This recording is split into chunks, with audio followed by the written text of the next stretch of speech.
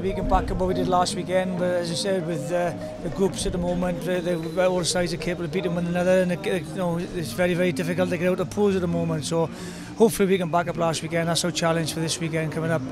We want to get through our group now, and we we got a very tough tough group with with the mighty Fiji and New Zealand. So as well as good Scotland side. So we're just going to concentrate on what we can do well, and obviously we we have a, a huge goal of getting out of that out of that group. Very much looking forward to playing New Zealand in particular this weekend.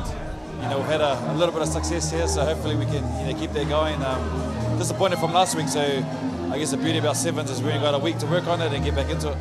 What we've always been good at is consistency. So, like you said, you know, two finals in the last two tournaments is, is good, but still disappointing. You know, everyone wants to win. So, uh, hopefully we get uh, we, we, get some good support down here in Africa. So we'll be looking for the crowd to get behind us and try and uh, get us our, our, our win.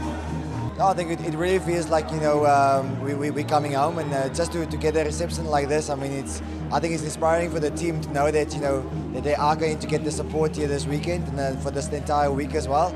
But yeah, a disappointing tournament for us in Dubai, and just it's just good to be back at our, on, on home soil, and uh, we're looking forward to the rest of the week, and we're looking forward to the tournament.